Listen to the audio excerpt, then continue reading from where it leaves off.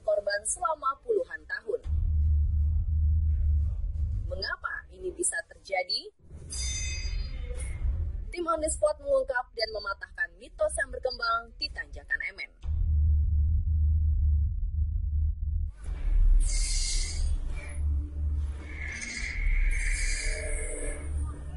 Kecelakaan kembali terjadi di Tanjakan MN Sabtu sore 10 Februari 2018 pukul 17 waktu Indonesia Barat. Kecelakaan yang melibatkan sebuah bus pariwisata dan sebuah motor ini menelan korban jiwa 27 orang dan menyebabkan 30 orang mengalami luka-luka. Kecelakaan ini bukanlah yang pertama kali.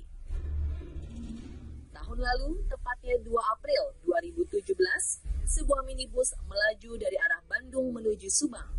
Minibus tersebut diduga kehilangan kendali dan menabrak satu motor dan dua mobil di sekitar Tanjakan MN. Satu orang tewas karena kecelakaan ini.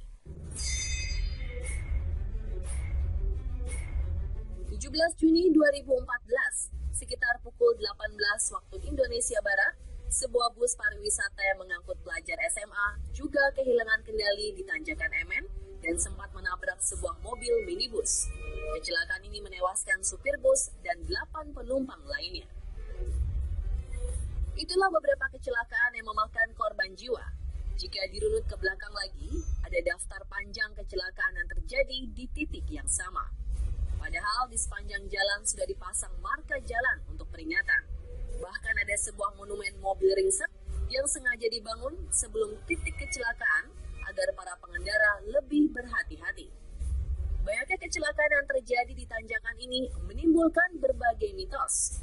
Masyarakat setempat mengaku sebelum terjadi kecelakaan, biasanya ada tanda-tanda alam yang keluar sebagai peringatan.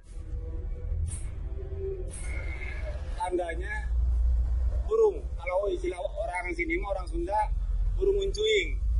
Yang turun ingat di atas pohon pas tanjakan Emen. Itu burung uncuing. Kila-kila orang sini mah kila-kila ada. Mau ada kecelakaan pasti burung uncuing yang keluar. Uh, orang hutan pada turun, monyet-monyet pada turun gitu bergelantungan. Untuk menghindari kecelakaan, warga sekitar pun percaya bahwa pengendara harus melakukan ritual-ritual khusus, seperti membuang rokok, koin, atau membunyikan klakson. Tidak sedikit pengendara yang menuruti hal ini. Ketika tim on the spot menyusuri titik lokasi bus pariwisata premium fashion yang terbalik bersama seorang warga, kami mendapati koin-koin yang dilemparkan oleh para pengendara yang melintas. Dan kami mendapatkan uang koin sejumlah Rp7.600 hanya berjalan beberapa meter. Padahal sejam sebelumnya sudah ada warga lain yang menyusuri jalan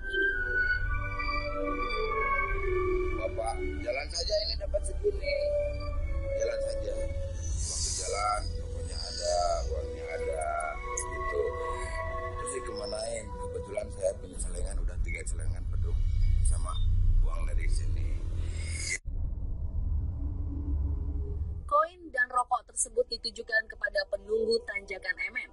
Nama MN sendiri ternyata diambil dari nama seseorang yang juga pernah terlibat kecelakaan di Tanjakan MN.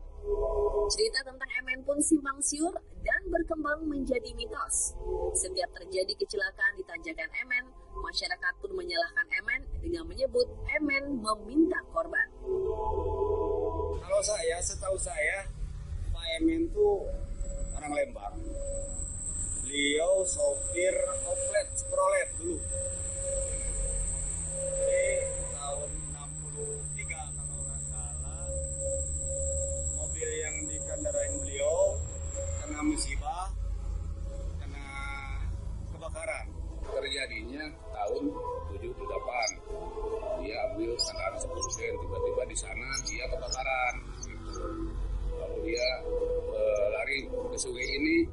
Kisahnya ada yang bilang apa Emen itu kernet, dia tergilas mobil, ya banyak lah. Nah pemirsa, apa yang membuat mitos ini kian berkembang di masyarakat, khususnya warga di sekitar kawasan Tanjakan MN? Apakah kecelakaan yang terjadi karena MN meminta